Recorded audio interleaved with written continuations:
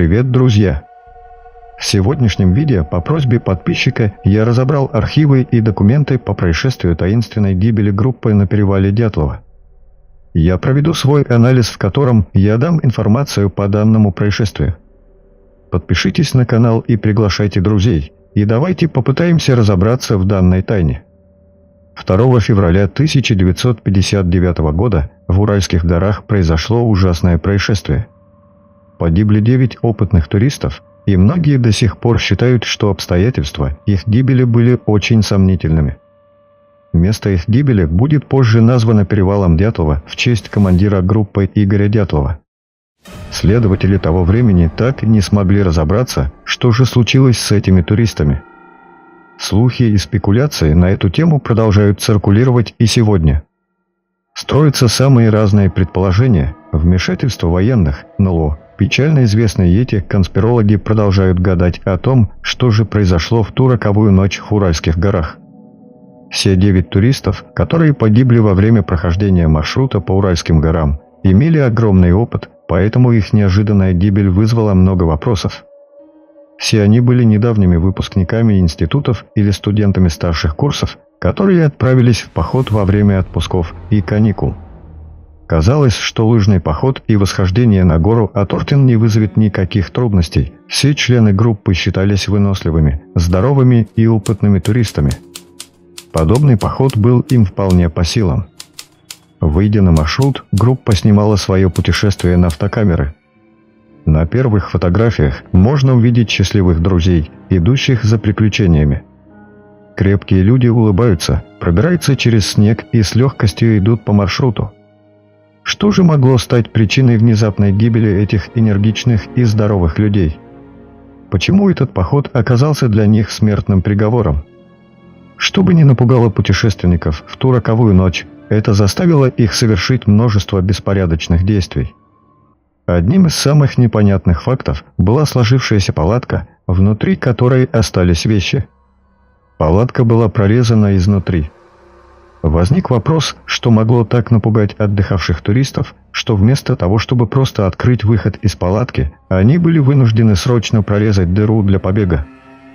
Наряду с прорезом о попытке срочно убежать говорили и оставленные вещи, в том числе все зимнее снаряжение – в феврале в Уральских горах средняя температура воздуха составляет 16,6 градусов по Цельсию. Тем не менее, куртки, перчатки, брюки и другая теплая одежда, а также навигационные приборы, такие как компасы, все было оставлено на месте. Внутри палатки также остались три топора и два финских ножа инструменты, необходимые для вырубки леса при разбивке лагеря. Бежавшие в панике туристы оставили даже те предметы, которые можно было бы использовать в качестве оружия. Один из туристов, Семен Золотарев, выбежал из палатки без одежды и снаряжения, но прихватил с собой фотокамеру. Итак, в разгар зимы девять опытных туристов были чем-то настолько напуганы, что сбежали, несмотря на угрозу гибели от переохлаждения. Очевидно, они считали, что замерзнуть – это лучше, чем немедленно погибнуть. Так что же это могло быть? Исходя из осмотра палатки, спасатели уже понимали, что туристы оставили почти все свои вещи, включая снаряжение для холодной погоды. Когда наконец-то тела были найдены, пять из них оказались почти голыми, в одном только нижнем белье и в некоторых случаях носках.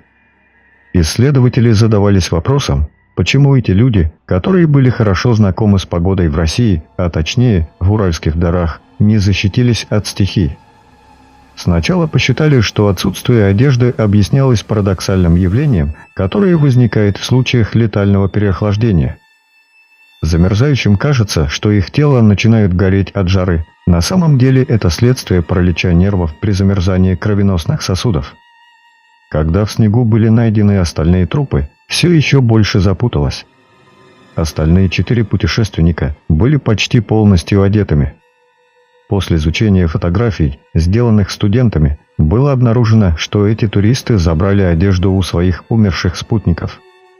Сравнение одежды показало, что последние четыре человека снимали одежду со своих мертвых товарищей в безуспешной попытке согреться. Необходимость раздевать трупы своих товарищей добавилась к тому страху, причина которого так и не была установлена. Не менее странными были травмы, которые поисковики стали обнаруживать у погибших туристов по мере того, как их находили одного за другим. Хотя все спасались от одной и той же угрозы, характер травм оказался абсолютно разным. Первыми двумя найденными членами группы были Юрий Дорошенко и Юрий Кирванищенко. Их тела находились ближе всех к палатке. Руки были страшно ободраны и напоминали кровавое месиво. В коре дерева возле трупов нашли остатки человеческой плоти. Мужчины были так напуганы, что разодрали себе руки, пытаясь подняться на безопасное место во время атаки. Вскоре после этого был найден Игорь Дятлов, и состояние его одежды было абсолютно беспорядочным. Труп Дятлова был обнаружен лежащим на спине в расстегнутой куртке, его руки были крепко прижаты к груди.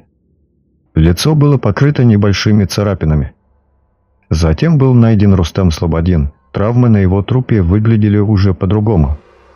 Наряду с незначительными царапинами у него оказался проломленным череп.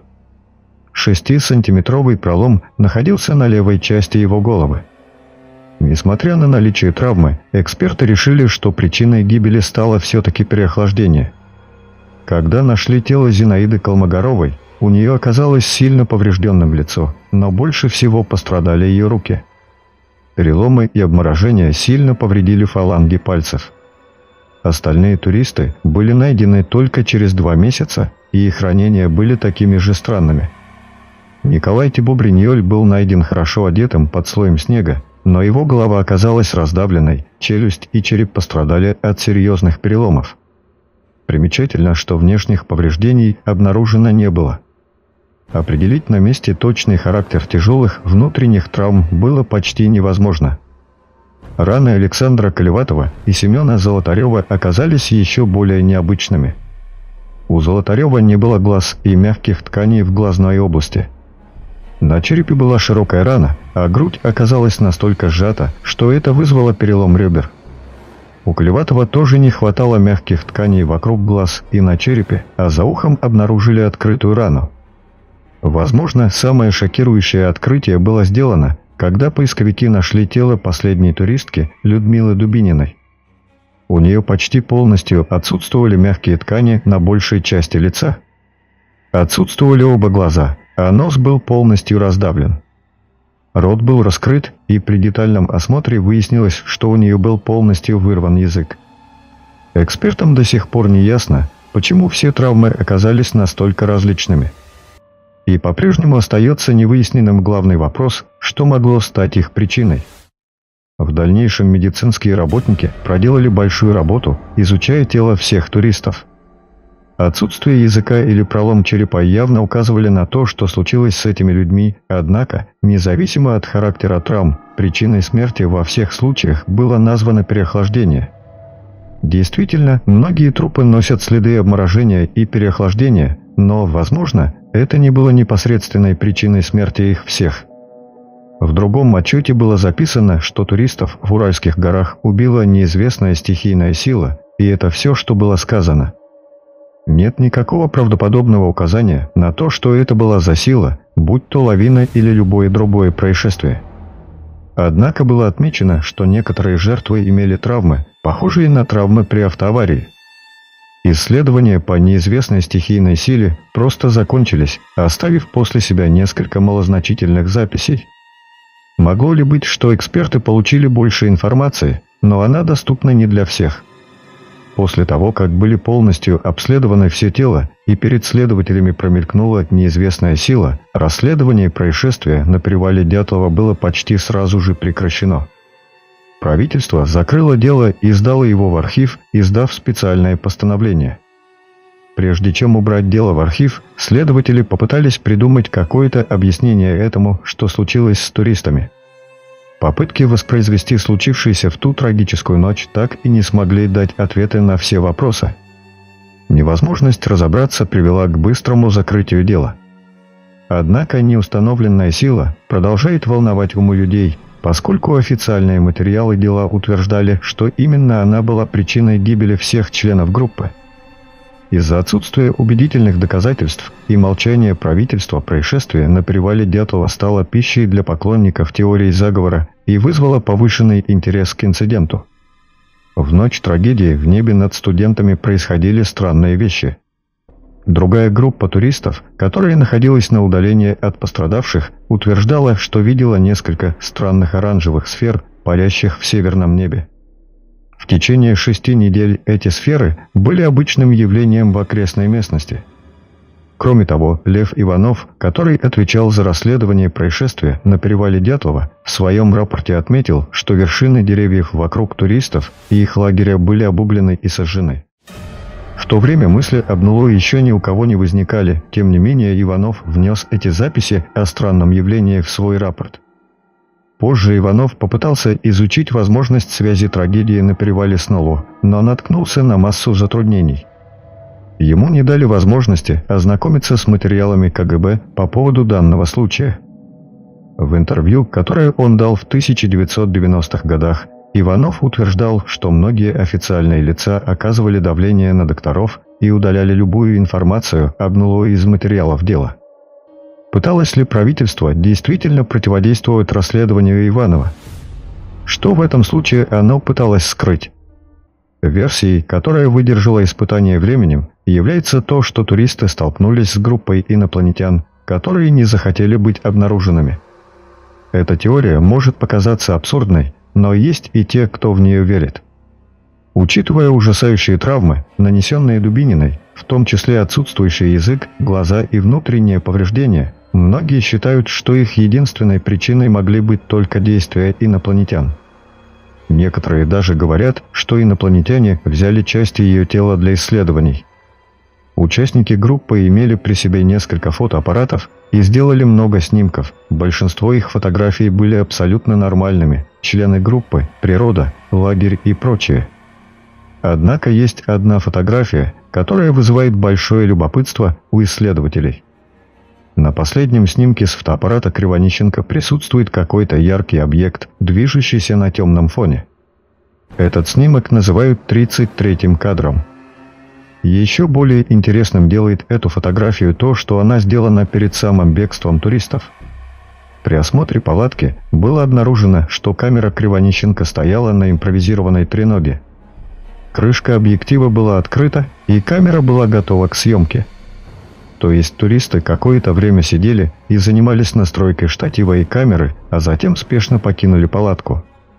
Могло ли быть так, что они хотели заснять то, что и стало причиной их гибели? Что они вдруг увидели в горах?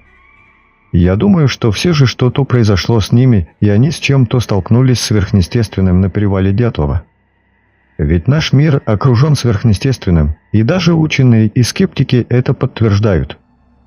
Но почему правительство закрыло это дело и все подробные материалы были скрыты или уничтожены полностью?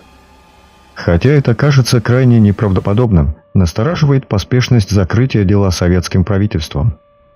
Что оно в действительности пыталось утаить? Известно ли им что-либо о тайных агентах? Скорее всего, в группе не было никаких агентов, но когда нет убедительных доказательств определенной версии, люди начинают цепляться за любую теорию. А вы что об этом думаете? Напишите об этом в комментарии под видео. Я хочу верить. Димура.